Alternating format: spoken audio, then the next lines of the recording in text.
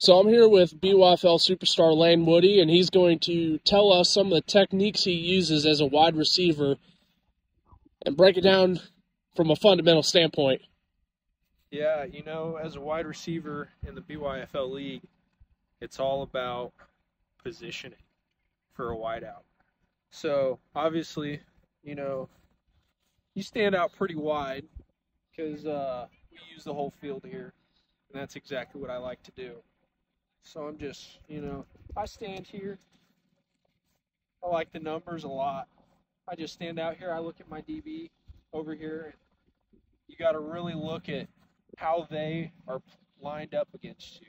You know, so if they're they're pressed up on you, you're gonna give them one of these, and you want to get outside for that goal line fade. But if you got somebody like Eli lined up against you, just a pure dog shit DB, what you're gonna do, you're gonna size them up. You're gonna stand right up in front of you. All right, and you're just gonna run your route. Give him a little fake, falls for it every time.